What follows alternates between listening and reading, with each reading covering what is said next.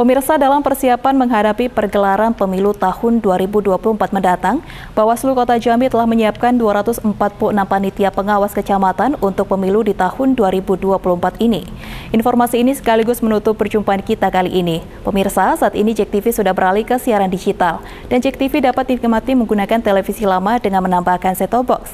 Berita Jek TV juga dapat diakses melalui kanal YouTube resmi Jek TV. Akhir kata, saya Rindaudina pamit undur diri. Tetap jaga protokol kesehatan Selamat siang, selamat beraktivitas. Cek TV, inspirasi kita.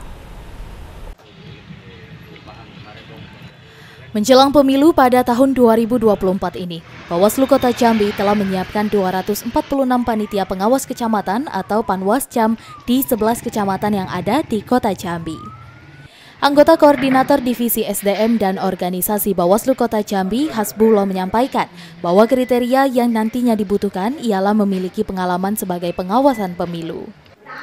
Dirinya juga menuturkan saat ini akan dilakukan perpanjangan pendaftaran Panwascam di tujuh kecamatan di kota Jambi, di antaranya Kecamatan Jambi Timur, Danau Sipin, dan Pasar Jambi peningkatan tahun ini karena kita belum membuka masa perpanjangan sementara sekarang tuh uh, masih berkisar di 246 246 kalau tahun kemarin waktu Pilgub 2020 kita itu di atas angka 300 300 itu sudah masuk tahapan perpanjangan.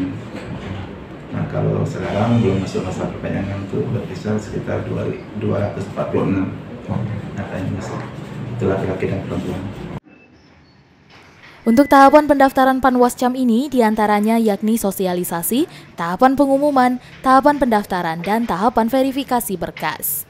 Kemudian nantinya untuk tahapan verifikasi berkas ini akan dilakukan selama tiga hari, mulai dari tanggal 28 hingga 30 September 2022.